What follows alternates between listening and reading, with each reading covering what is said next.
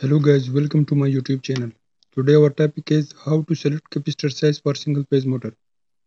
To select capacitor size for single phase motor, first we must know these values.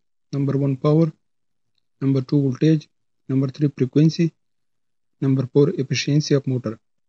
Efficiency is always mentioned in motor nameplates. For better understand, let's see an example.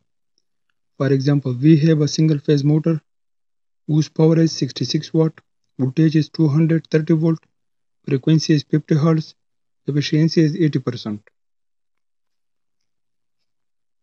Now the formula for capacitor is C is equal to power multiplied by efficiency multiplied by 1000 divided by voltage square multiplied by frequency. So now put the values in this formula. 66 multiplied by 80 multiplied by 1000 divided by 230 square multiplied by 50. So 5,280,000 divided by 2,645,000.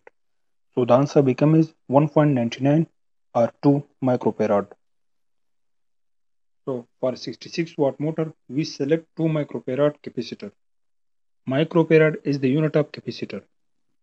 Thanks for watching. If you like this video, please subscribe my channel. Thank you.